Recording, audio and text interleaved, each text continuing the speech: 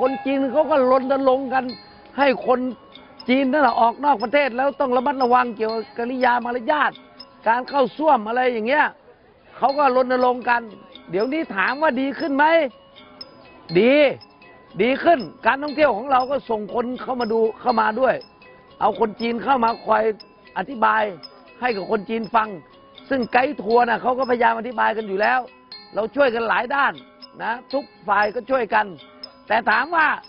ยังมีขี้แบบนั้นอีกไหม มี มันไม่ใช่ไม่มี มันจะขี้ใส่โถเยี่ยวกูอยู่เลย มันเป็นเรื่องธรรมดา ไม่มีปัญหา เข้าใจไหมท่านพี่น้อง โถเยี่ยวผมมันยังขี้อยู่ แต่ว่ามันไม่ได้ขี้บ่อยพอเข้าใจไหม ดังนั้นเนี่ย เราก็มีบ้างปะปายแล้ว เดี๋ยวนี้ไม่เหมือนเมื่อก่อน เมื่อก่อนมันล่อกันแบบ อาทิตย์หนึ่งเจ็ดวันมันขี้ใส่เราสักหกวัน ตอนนี้มาขี้ใส่เราสักสองวันสามวันก็ยังคอยยังชั่วหน่อย คนของเราก็คอยดูแลมากขึ้น ให้เขากลับมาล้าง ให้เขากลับมาล้าง ก็ดีขึ้นนะ ก็ถือว่าโอเคไม่มีปัญหาอะไรสบายๆปัญหาอย่างอื่นมันก็มีอยู่ปกตินะไอ้ความดื้อความห้ามตรงไหนก็ทำอะไรอย่างเงี้ยก็ยังเป็นปกติอยู่ นะแล้วบางทีก็รบกวนนักท่องเที่ยวฝรั่งอะไรอย่างเงี้ยก็เป็นปกตินะเราก็ถือว่าเป็นธรรมดา วัฒนธรรมเขาลงเลงลงเลงลงเลงก็เป็นเรื่องธรรมดานะแต่ว่าก็ไม่พอใจของผู้อื่นก็เอาเราก็ต้องทนทนกัน ไม่มีปัญหาวัดหลวงขุนไม่มีปัญหากับทัวร์จีนนะสบายสบายๆก็ยังให้พี่น้องทัวร์จีนมา สบายสบายๆท่านใครขี้ขี้ไม่มีปัญหาท่านใครโวยวายก็โวยวายไป เราเตือนได้เราก็เตือน เราเตือนไม่ได้ก็ปล่อยไป ต้องรับสภาพนะวัฒนธรรมมันแตกต่างกันนะดังนั้นเราต้องพยายามเข้าใจเขาไม่มีปัญหาสบายพี่น้องสบาย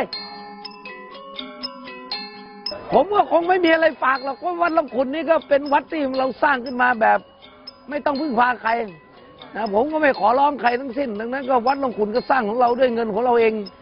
นะซ่อมแซมแผ่นดินไหวเราก็ด้วยตัวเราเองทั้งหมดเลย เราไม่ขอเงินใครเราไม่มีการรับบริจาคจากใคร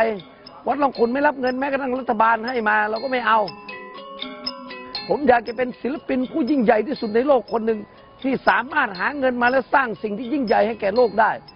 ศิลปินส่วนใหญ่ทั้งโลกทั้งหมดนี้ส่วนใหญ่ก็รับจ้างเขาเอาเงินจากเศรษฐีเอาเงินจากาจากโป๊ปบ้างจากมูลนิธิจากอะไรมาสร้าง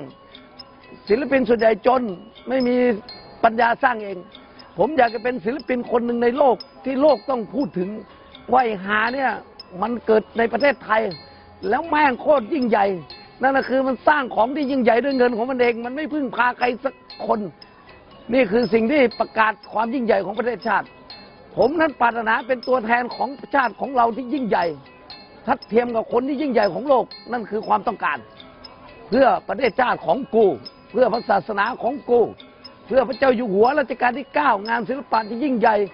เป็นร่วมสมัยของยุคสมัยรัชกาลที่ 9 ที่งดงามยิ่งใหญ่ สุดยอด ดังนั้นพี่น้องขี้ขี้ไป ผมไม่สนใจ ขี้ไปเรื่อย ๆ สบายใจ สวัสดี